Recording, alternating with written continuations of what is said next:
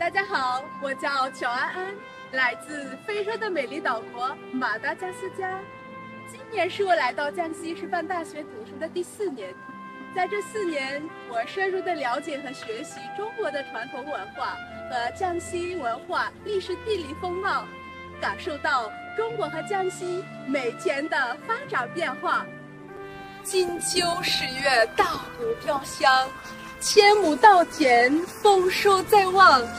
金黄色的稻穗美不胜收，从空中俯瞰，仿佛为大地披上一层美丽的黄基泥。与当地新罗西部的民居纵横交错的乡间道路交织一起，构成了一幅幅美丽动人的乡村振兴画卷。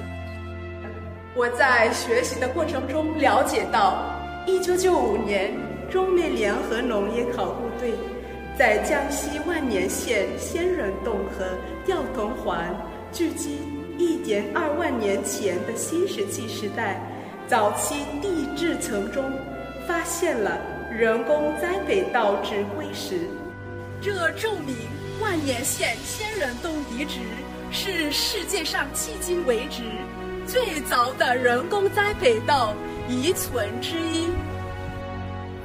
马达加斯加的两万纳里新版纸币上印着的是中国的杂交水稻。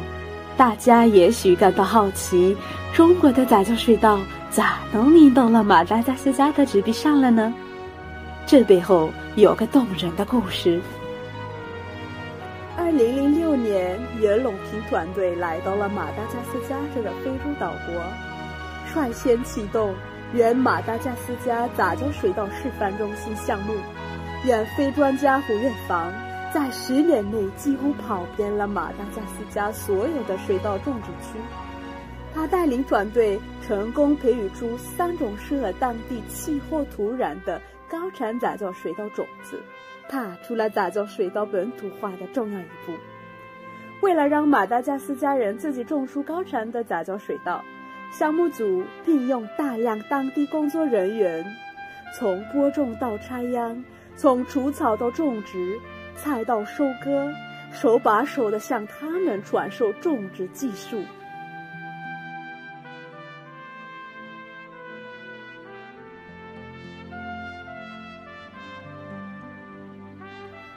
袁隆平爷爷生前常跟人说起他的两个梦。其中一个梦是禾下乘凉梦，在梦里水稻长得跟高粱一样高，穗子像扫把那么长，颗粒像花生米那么大。今天禾下乘凉梦的故事在马达加斯加广为流传。袁爷爷的第二个梦是杂交水稻走向世界，覆盖全球梦。如今。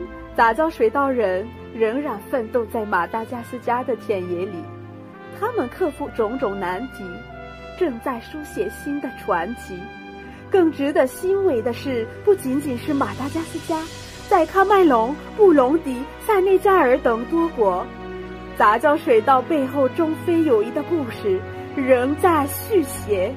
杂交水稻走向世界、覆盖全球的梦，正在慢慢实现。